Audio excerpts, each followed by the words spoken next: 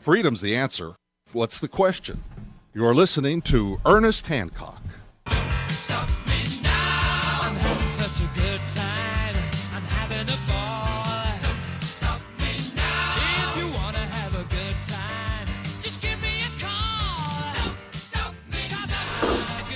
Yeah, don't stop me now. We're having a good time here on Declare Your Independence with me, Ernest Hancock, here in Phoenix, Arizona, from the studios of Freedom's Phoenix, freedomsphoenix.com with Drew Phillips and Nick Barnett. Now, they're, they got, uh, you know, you get all their goodies over at walletvoting.com. And what's this coin worth? What, what's the site? Uh, what's this coin worth.info? and that's uh, where they have a lot of the information there. And also, uh, they do cop block uh, activism here in Arizona. Now, you know, the one thing after the event Saturday, the Tenth Amendment Center put on this Nullify Now thing, you did have an opportunity to, to talk to the guys, and they're young, you know, they're your age probably, you know, and they're, you know, they see this as an opportunity to go around the country and do what?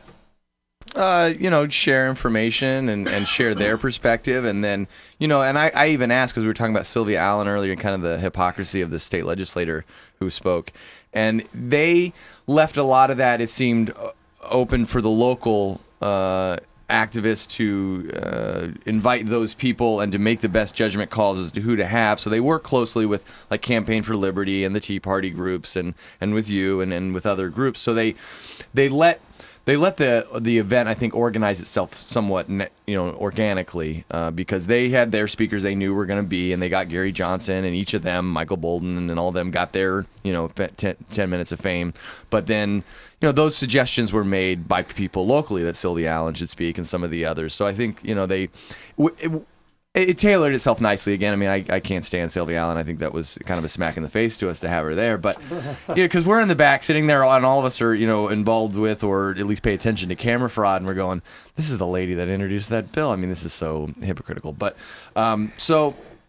I, I, I and you know talking to them afterwards they were talking about Austin and how they wanting to to bring this tour to Austin they've been to Texas I think the Dallas area and um, you know they're saying well how do, how do we do this where we promote it as an all left event you know how do we fill it with you know no, nothing but you know because Austin's kind of the the Yeah, weird Go to Tucson. Well, Yeah, that, exactly. That was another thing. Uh, they were talking about how it's just recently that the Tenth Amendment Center has become uh, a place for conservatives to get together, and uh, prior, like during the George Bush and before, it was all left. It was all lefties wanting to nullify certain things like marijuana laws. Yeah, but they'll take the money. Because that's really what it comes down to. I was talking to them and so on. They're, hey, man, we're businessmen. You know, we want to get our thing out and talk to whatever, and they want to put forth the effort in marketing these guys, whatever. and you know um, I, I forget his name John Bush is his radio partner I feel terrible um, a great guy um, they, they- Jason, I think. Yes, and they uh, they were hustling. Me and Nick noticed that. I mean, they were they were working men. They were passing out their radio show CDs as people were going in, and please come buy our book and support our. I mean, and they were you know putting flyers on every chair of the seat. And I go, oh yeah, I should ask Ernie to pay me to do that, but you know, uh, but they were they were working. I mean, they were out promoting their thing and and their you know the free society that they're they were trying to advocate for, and so. And that's what these events are. I mean, that's what Nick and I were there, and Tom. We were working and you know trying to. Did you get rid of all stuff. the DVDs that we had on the table? Oh no, because you kidding? There were they, Tom did like hundreds of them, and we didn't get rid of all of them. But we You know- we gave a, a bunch of them out and so on. You know, um, the first I heard of this event, I, I can't remember who. I think John Bush was one of the first ones to contact me. And he said, uh, Yeah, Ernie, we're this and that and so on. We need to get you guys involved in Phoenix. We're doing this nullify whatever 10th Amendment thing. And I know what the 10th Amendment issue is. I've gone through this in the 90s. It was a big thing that they did out of Colorado in the state legislature. I think it was even Karen Johnson was involved in a lot of this stuff. So I'm going, yeah, yeah, yeah, yeah, yeah. It's still more of, uh, you know, use the system. And I'm going, I really don't have any interest. I mean, I'll do, let you guys put a, a banner ad up, I'll promote it, or we'll go get a table, we'll do whatever. But I'm just, you know, I don't feel like participating really. I got other stuff to do. I'm I'm busy. Plus I yeah, would- but then when it came to it, you had them all on, and you came down. Oh yeah, yeah. you No. I'll I'll give them the spiel. You know, I you know, but I showed up, set it up for you guys, and I left. I got I got a life, man. You know, Oh, thanks. Yeah, but before I uh, heard your show on Friday, and you called me like the week before, you're like, uh, "I need somebody to help on the booth." I was like, "At a Tenth Amendment thing." Yeah. Come on, Ernie.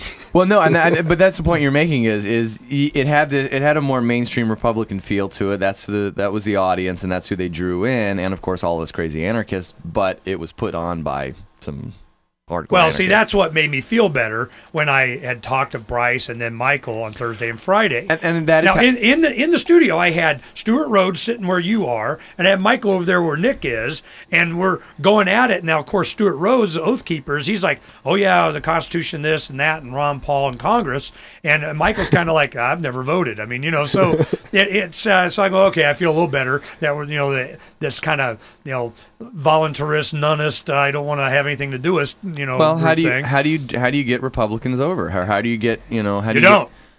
I mean, a lot of these guys, I mean, I'm telling you, these people that were in that audience, I recognize probably 80% of those people. And they are the same for the past 15 years. They go to these meetings and they blah, blah, blah, blah, I'm blah. sorry. I'm sorry. How do you convince the people on the internet watching Tom's video of the event? Th- that's what I'm saying. Is by them having this conference, somebody in that crowd is going to go, "Oh, you know what? I, I I reject this Republican restore the Constitution." Yeah, no, no, all." I'm hip. So there, I'm- you I'm know, good. you can never, you know, it's like anything you promote. You can never really quantify the uh, benefit and the net outcome of what it was. But well, no, I'm glad you guys were there because, you and know, I'm glad that- they gave us an opportunity to be there, Yeah, and no. we got to pimp pimp the silver. to, to ha- well, it's more than that. It was it's well, I tell you what it was like. It's like um, Bill of Rights Day, which was December fifteenth. You had Gary Johnson spoke there too. You had Bob Levy from Cato. You had you know other people. Then you had legislators coming. You know Russell Pearce and so on were there. And all of a sudden, you get people cheering for getting out of Afghanistan and Iraq. People cheering for ending the drug war. People cheering for you know liberalizing the gun laws and screw the government, uh, the debt and all this other stuff. And all these politicos are sitting there going, uh, "I'm not in Kansas anymore." And, and and here's and here's the point. Russell Pearce was rumored to be coming to the event on Saturday. Hell no. And he didn't. No. Why? Because the same thing in the Bill of Rights Day, he would have looked way out of place. He'd have Yep. felt out of place. He'd, he'd have, Shelton would have probably gone off on him and camera too. So, uh, th- but, but isn't that a win for us? That these legislators can't come to our events or these events and come and lie to us and tell us that they're going to save us and do good things and you know, isn't that a benefit? Isn't yeah, that a, a victory? You know, I think that's one of the, the the main benefits out of this thing is, I think they realize now that they have no credibility. Sylvia came and got an earful. I mean, so she may They, think they- twice. They, can't lie to us. It, it would have been great if Russell Pearce would have been there. Um, him introducing uh, blatantly unconstitutional uh, uh, legislation or legislation to change or to d- deny citizenship to people that are born here to illegal immigrant Yeah, the, parents. the, the other reason he probably didn't show up was because they, they pulled out a recall petition on him the day before. That might have something to do with it. Oh yeah, that's right. That's right. Yeah, they did a recall petition on Russell Pearce. I tell you, there's a problem with some libertarians, you know, that are involved in that thing. Did it Friday? Well, today the Democrats are going to do it, and they're all pissed off. And to, and and sometime this week, I'm going to take Tom down to uh, Mesa, and I'm going to get him to carry both petitions, the Democrat and the Republican, and get some video of him going, you know, door to door at the supermarket saying, "Oh no, you got to sign both because the Republicans and the Democrats are fighting over who gets to recall him first. oh, that's so- good. That's good. Because it's childish that they're fighting with each other. So I mean, I don't even care to participate in the petition process anyway. But it'd be fun to illustrate how there's two of them, and they're you know it's it's their own egos that they're you know fighting against for who gets to.